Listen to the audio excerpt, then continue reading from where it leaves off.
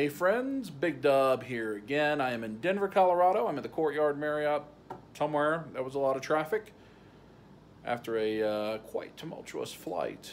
And I'm going to go try to check out at least one store while I'm in Denver. I'm only here for a couple days, but Mile High Comics, which I have seen on some documentary, and I think it's the biggest comic store, at least in the country, in terms of square footage apparently has this massive warehouse of comics. I do not know if they have collectibles, figures, anything like that, but I'm gonna go find out. And I thought I'd take you with me for my trip to Mile High Convicts. No, Mile High Comics, not convicts. That'd be a different trip. Mile High Comics in Denver, Colorado. Let's see what they're working with. All right, I just drove about 10 miles to Mile High Comics, and uh, I mean, this is humongous. Just wait till. It's like a Sam's Club. It's like Costco of comics. So wait do you see this thing.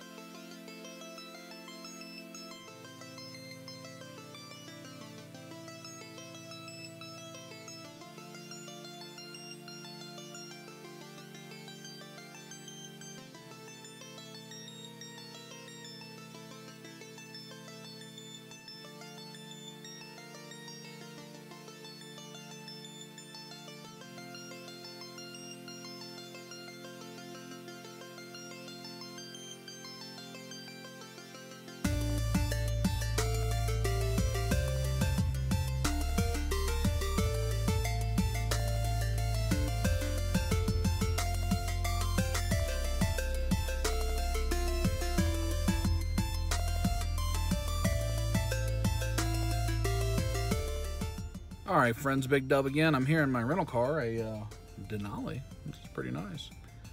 Uh, I didn't buy anything. We'll talk more about it when I get back to the hotel. Um, just too much. There's so much stuff. That place is incredible. That is almost like visiting a tourist destination.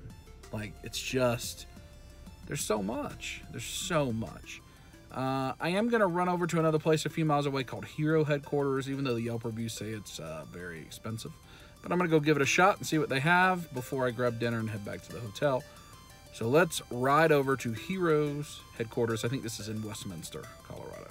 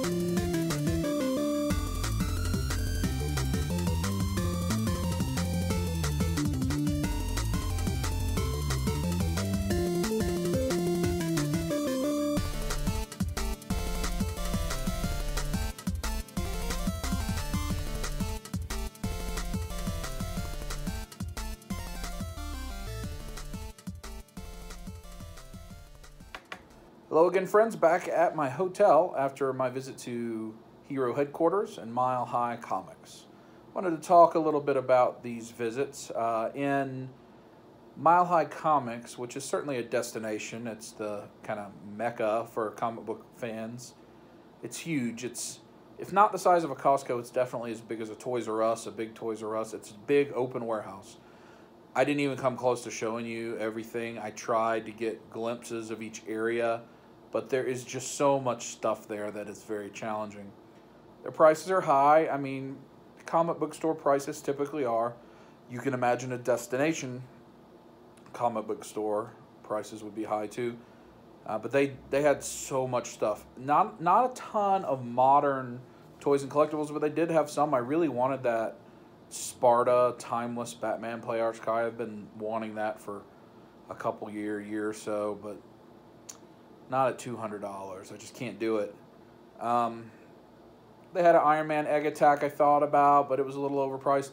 But ultimately, that is just you need to go. You can go to to take it in. They have so many Golden Age comics, Silver Age.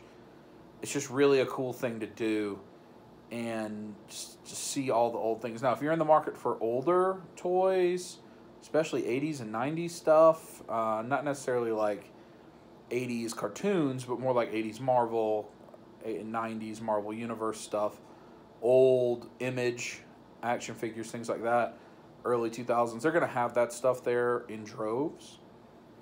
It's like being in the Diamond Previews catalog for every decade. That's what it's like if you ever look through the previews catalog at your local comic book store. Definitely should go check it out. The second place, Hollywood Heroes, or Heroes Headquarters, I'm sorry. I almost didn't go to. The reviews on Yelp said it was very overpriced mentioned like double the price of eBay. That's why you don't always go by reviews, especially when it's not food. I mean, like stores like this, what one person's opinion may be completely different. The prices were high in some cases, uh, but in other cases not. You know, they had the Kylo Ren hot toy for under two hundred dollars. They had Merry and Pippin um, six scale figures for hundred bucks each you know, it was fairly normal. Uh, normal prices on six scale stuff, what you expect to find. A lot of Marvel Legends, I really liked their loose display cases I showed you. Sure, they're like the Sauron Wave, I think they had at twenty nine ninety nine, a little high, but that's what you're going to expect in a place like that. Just like you would pay to get it early on eBay or whatever. However, uh, I the owner was great, the employees working there were awesome, and I did pick up three items that I'm going to show you right now. So the first, SH Figuarts Goofy from Kingdom Hearts. I've been eyeballing these for a while. I really like the way they look. I like the art design. I think they're from Kingdom Hearts 2. The next one I got, Donald SH Figuarts. I need to get the King Mickey and the Sora. Then I'm sure they're going to have a bunch from Kingdom Hearts 3. And then the final item I got, SH Figuarts, Frieza, DBZ. Those were the last of each of those they had, and uh, he was willing to do a little bundle negotiation, hey, big dub style. So I came in below eBay, below Amazon, below any price I could find on those, uh, and then a little discount on top of that for the bundle. So I'm very pleased with my pickup. Not a huge haul, but a nice haul. Um, three, two figures I've definitely been eyeballing. The Frieza I've wanted since I've started to get into the DBZ stuff. So I'm really happy with the pickup. There's another store I'm going to try to get to in Denver tomorrow if I have time after work. Uh, and then if I do, I'll take you with me and you'll see a video from that. Anyway, I hope you enjoyed this video, the visit to Mile High Comics especially. Uh, brought you along with me. It's a place a lot of us will never get to, so it was really cool to check it out. I hope you have a great rest of your day, and I'll see you in the next video.